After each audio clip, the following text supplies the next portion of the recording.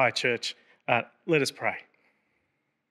Psalm 3:8 tells us, "From the Lord comes deliverance. May your blessings be on your people."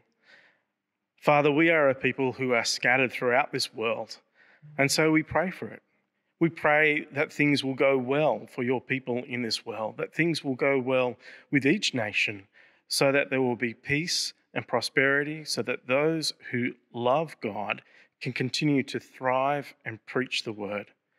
But Father, we know that that isn't the case. We know that our world has, is a world of troubles. We know that our world uh, struggles because it doesn't know you. And so, Father, we pray for good government by our world leaders.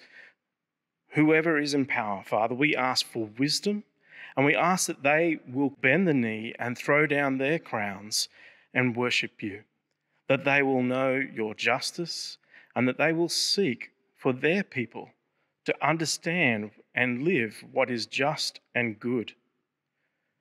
Father, we pray for love and unity in the truth among Christians. Father, we ask that we, the church, though we might have differences, differences in ways of worshipping, differences in ways of thinking about uh, different doctrines and such, but Father, ultimately, we love you. We are all brothers and sisters in Christ, and we ask that for the true church who worships you, that we will have love and unity. Father, we give you thanks for this wonderful country, Australia. We give you thanks for what you have provided for all of us. We give you thanks for the opportunity that exists for us.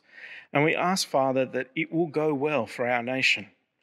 We know now we suffer uh, from COVID and issues such as that. But Father, we also just give you thanks that here in Australia, we have been spared a lot.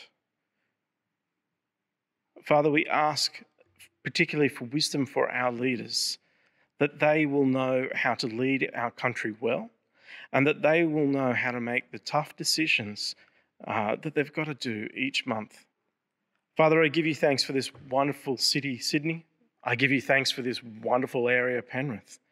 Father, I ask that you will help us have hearts that seek to serve the community here in Penrith, that we will reach out with your word and with your love in practical ways that we will see Penrith grow to be a place where everyone can come to know you and praise you.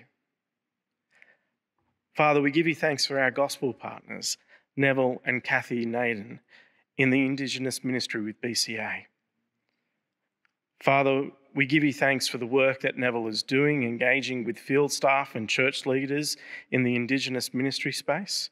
Father, we ask for the work that among Indigenous people there, that it will continue to go well, that things will be, uh, that your word will be contextualized in a way that they find easy to understand.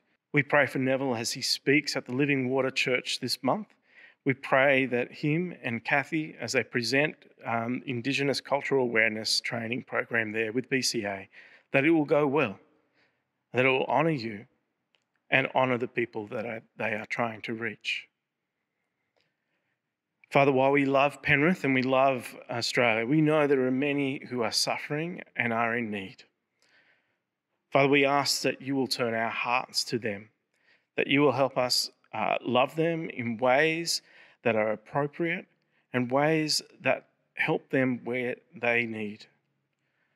Father, we give you thanks for the programs that do exist in our society and our culture that have been transformed and informed by your love for those who are suffering.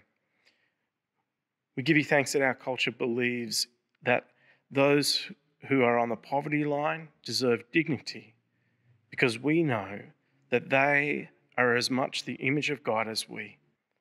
Father, we give you thanks for the church. We give you thanks for St. Stephen's. We give you thanks for everyone here, for uh, whether they're little children all the way up to those who have been leading us many years. We ask that we may continue to grow in Christ through our growth groups, that we will continue to grow to know you and grow to know each other.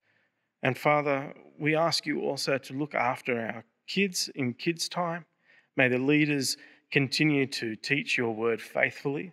And we ask that even in this tough time, as they try to figure out ways of doing wonderful activities with the kids through COVID, that you will uh, help the leaders be creative and faithful. We pray all these things in your wonderful name. Amen.